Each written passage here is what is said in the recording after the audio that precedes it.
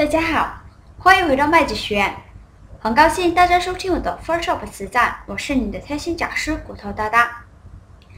那么去眼袋的方法非常简单，要涉及到一个新的工具，可以给大家讲解一下。反正你们一用，你们就会爱上它。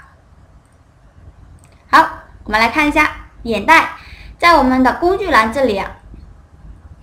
这里有一个污点修复画笔，它是干嘛用呢？怎么用的呢？我觉得它用处比较大的就是我们这个修复我们的这个眼袋。好，我们现在对我们的眼袋进行一个处理，稍微的抹一下，在它上面有皱纹地方轻轻一抹，就可以把皱纹给去掉了。我们的眼袋。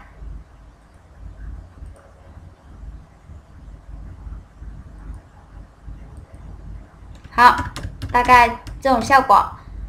那么我们还需要稍微的处理一下，让它自然一些。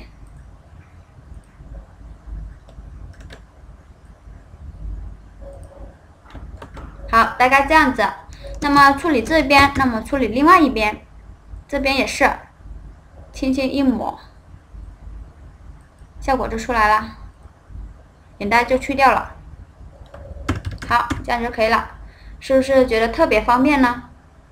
所以说你们用一次，那以后就会爱上它了。好，到这种程度之后呢，我们下步接着要干嘛呢？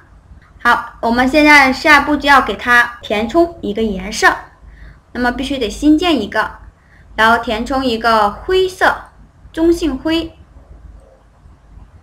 那么在我们这里，这个 B。的百分值给个五十，好，然后填充。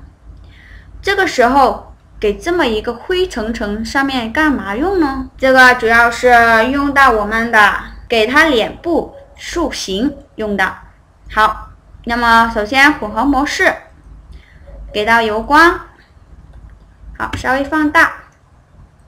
这个时候呢，就要用到我们加深减淡工具了。加深减淡工具。在我们的工具栏这里，这个小手这里就是加深简淡工具的一个标志。那看到了没？这个简淡简单工具，我们可以稍微调整一下。那么这个时候，我们用加深给它塑造一个脸型，给它的鼻梁这里调节一下，好，稍微要挺一点点。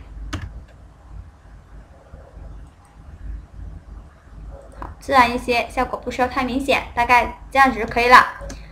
那么在这里，脸它有个笑笑的地方，有个酒窝，那么我们就要给它加深一下。好，大概就这样子，那么效果就出来了。这就是我们新建图层填充中性灰的一个作用。好，我们的明暗高光随着这样子大概的调整了一下。那么我们接下来的话还得新建一个图层，这个图层干嘛用？因为大体我们都搞定了，总是觉得他嘴唇太白了，那么我们需要给他上个唇膏吧，化一下妆。那么我们这个上节课用了不同的方法，那么这节课用另外一个方法，方法都是非常灵活的，大家可以自由的去使用。好，我们来给他。抹个粉红色的，好，在嘴唇上这里抹，看哪个方法大家比较喜欢，那么大家就用哪个方法，这个说不没有一个一定性，但一定要方便快。好，我们抹成这样子了，的确不太好看，是吧？那么我们就给它填上一个混合模式。这个混合模式的话，我们运用的大家想到了有光，对吧？好，效果就出来了。那么时候可能还给它添加个蒙版，稍微处理一下我们刚才边缘溢出的部分。好，我们可以稍微的涂抹一下。好，大概就可以了，非常的快捷。那么现在大家看到的这一张美眉我们就完成了。我们可以来看一下，对比一下原图，是不是很大一个差别呀？而且我们处理起来也不会显得特别假，也是比较自然的一个。那么处理这这类型的图片的话，我们就可以用这类型的磨皮方法。这个是是我们通道配合曲线的磨皮大法。好，大家要注用的时候要注意它的高光，还有明亮消极的部分。